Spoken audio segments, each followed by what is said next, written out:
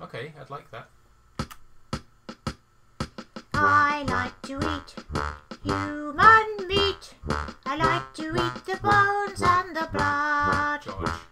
I even George. like to eat the hair George, and stop. teeth. George. What's the problem? It's a horrible song. It's a lovely song. It's, it's a horrible song. Where did you learn that? Oh, I'm hearing it everywhere I go. Like where? On the radio, people walking down the street singing it. Not, you don't walk down the street. Do you, do you understand what that means?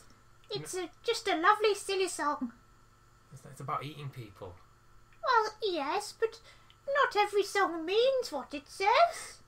Do you think? Do you think humans might be a bit intimidated by? by? No, they'll like it. I don't think you should sing this song anymore, George. I want to. It's scary, George.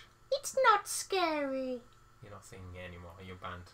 But please let me sing it just one last time. No.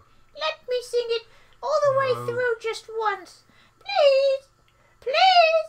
Please, please, please, please, please. Please just once. Please just once. Okay, once. Hooray.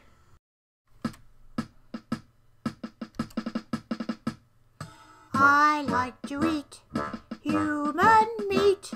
I like to eat the bones and the blood.